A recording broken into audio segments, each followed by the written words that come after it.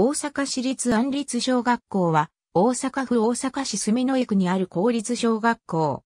学校所在地周辺の住之江区安立地区では、明治時代初期から中期にかけては独自の小学校を持たず、近隣の東成郡住之江村、東成郡住吉村と共同で住之江村に住之江尋常小学校を設置し、町の児童は住之江小学校に通学していた。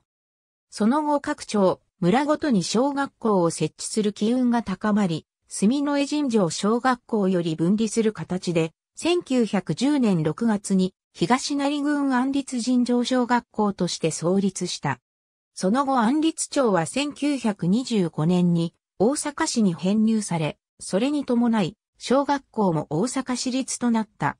1941年の国民学校令により大阪市安立国民学校となった。太平洋戦争の戦局悪化に伴い、大阪市の国民学校では学童疎開を実施することになった。縁故疎開に頼らない生徒は学校単位での集団疎開を実施することになり、各行政区ごとに行き先の府県が割り当てられた。当時の住吉区では、大阪府専修地域が疎開先として指定され、安立国民学校の児童は、泉大津市及び、仙北郡忠岡町へと疎開した。さらに1945年には、集団疎開の第二次対象者が、仙北郡泉町へと疎開した。1945年3月13日の第一次大阪大空襲では校舎が全焼する被害を受けている。